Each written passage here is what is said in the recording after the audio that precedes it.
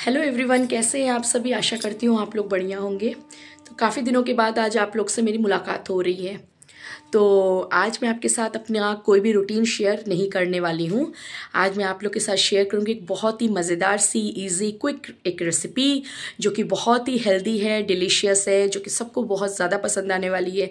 और the main चीज़ ये है कि जो बच्चे खाते नहीं हैं, आप इस रेसिपी से उसको बहुत ही आसानी तरीके से हम उसको खिला सकते हैं।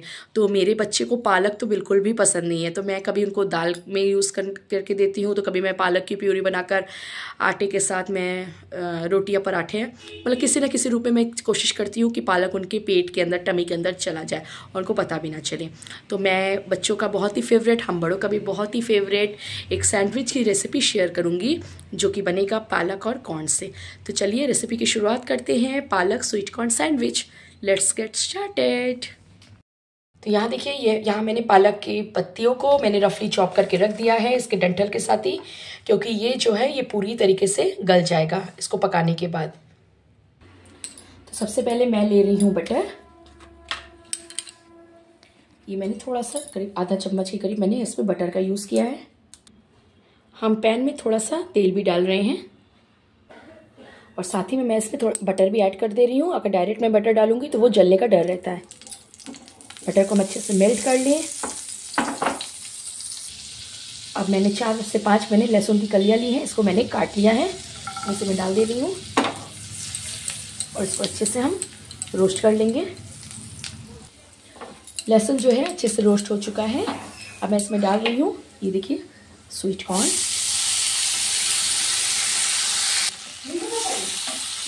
अच्छे से मिक्स करेंगे। अब हम इसमें पालक डाल दे रहे हैं।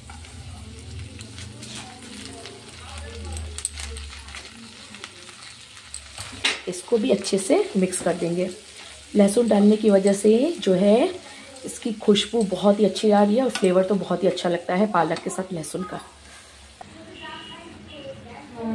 ये अच्छे से मिक्स हो चुका है। इसमें हम डाल रहे हैं नमक, ताकि पालक जो है अच्छे से सॉफ्ट हो जाए। तो आप स्वाद अनुसार नमक डालिए। फिर इसको हम मिक्स करते हैं और फिर हम इसे ढककर थोड़ी देर के लिए पकाते हैं, जब तक कि पालक जो एकदम सॉफ्ट ना हो जाए।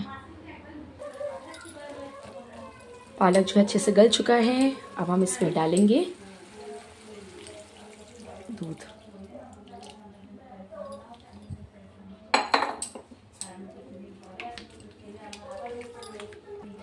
और इसमें डालूँगी ढेर सारा चीज़ इसमें मैंने स्लाइस चीज़ और डाइसेस दोनों का यूज़ किया है।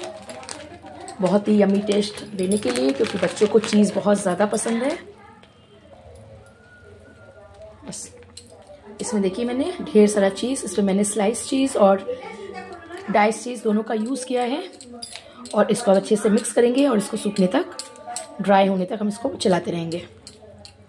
इसमें जा रहा है थोड़ा सा काली मिर्च का पाउडर और ढेर सारा ऑरेगनो इससे इसका फ्लेवर बहुत ही यम्मी हो जाएगा। हम इसको अच्छे से मिक्स करते रहेंगे जब तक कि जो ये एकदम ड्राई ना हो जाए।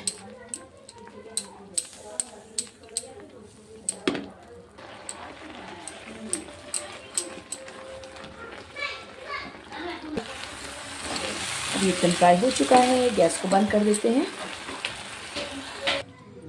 अब हम लेंगे बट ब्रेड और इस तरीके से जो हमने ये मिक्सचर बनाया है, हम इसको अच्छे से स्प्रेड कर देते हैं।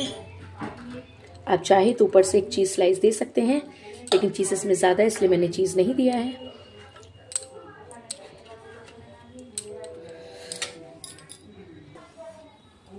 बटर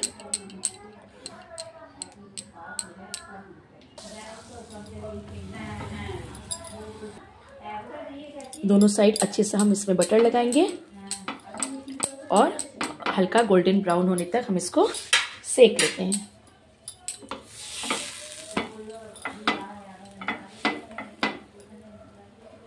ब्रेड जो है अच्छे से सिक चुका है दोनों तरफ़ से। ये देखिए। अब इसको हम निकाल लेते हैं। इसी तरीके से हम दूसरा कर देते हैं। तो हमारा सैंडविच बनकर देखिए, बिल्कुल रेडी है। आइए इसको कट करके हम आपको दिखा रहे हैं।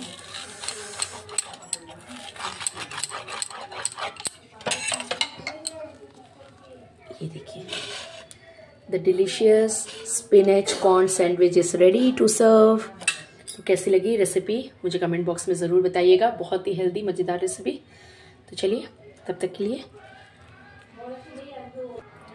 इसे आप बच्चों के टिफ़िन बॉक्स में दे सकते हैं, स्नैक्स के रूप में खा सकते हैं, सुबह ब्रेकफास्ट में खा सकते हैं। तो रेसिपी अगर आपको पसंद आती है तो प्लीज़ वीडियो को लाइक ज़रूर कीजिएगा और अपने दोस्तों के साथ ज़रूर शेयर करिए और चैनल पर नए हैं तो चैनल को सब्सक्राइब करना बिल्कुल ना भूलिएगा। चलिए, अगली बार आपसे फिर मुलाकात होती है एक नए वीडियो के साथ, तब तक के लिए टेक केयर बाय बाय